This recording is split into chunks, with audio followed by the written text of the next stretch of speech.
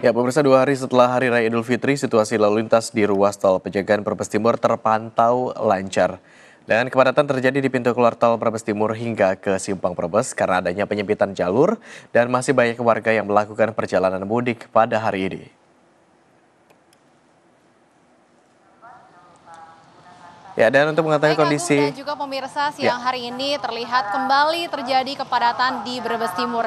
Seperti yang dapat Anda lihat saat ini di belakang saya terlihat kembali terjadi antrian panjang kendaraan dari pintu keluar tol Brebes Timur hingga di Simpang Brebes tempat kami melaporkan saat ini. Karena Simpang Brebes ini memang merupakan titik pertemuan antara kendaraan yang keluar dari tol Brebes Timur dengan kendaraan yang melintas di jalur Pantura.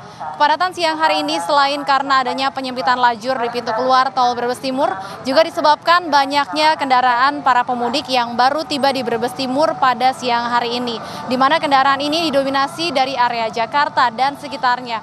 Ya Agung memang para pemudik ini mengaku sengaja memilih untuk berangkat satu hari setelah Hari Raya Idul Fitri untuk menghindari adanya kemacetan pada saat puncak arus mudik beberapa hari sebelum Hari Raya Lebaran.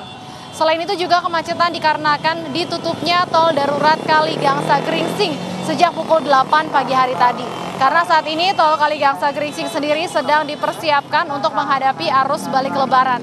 Ya, memang untuk tol darurat Kali Gangsa Gringsing akan kembali dibuka besok pagi, namun akan dibuka satu arah di arah sebaliknya atau dari arah Gringsing menuju ke arah Kali Gangsa, Pejagan, dan Jawa Barat maupun Jakarta dan sekitarnya. Ya, Agung siang hari ini juga terpantau arus lalu lintas di jalur Pantura, terutama dari Brebes mengarah ke Tegal, Semarang, Jawa Tengah, juga padat merayap. Namun di sebaliknya mengarah ke Brebes, justru siang hari ini terpantau lengang bahkan cenderung sepi. Memang hari ini terlihat untuk arus balik sendiri belum terlihat adanya peningkatan volume kendaraan secara signifikan.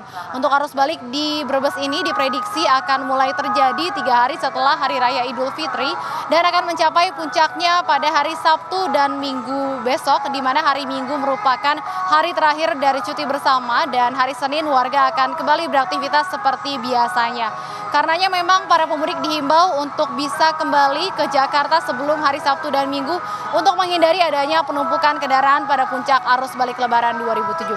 Ya, Agung kembali kepada Anda di studio. Ya, Stefani Patricia melaporkan langsung dari Brebes Exit. Terima kasih, selamat kembali menjalankan tugas, Stefani.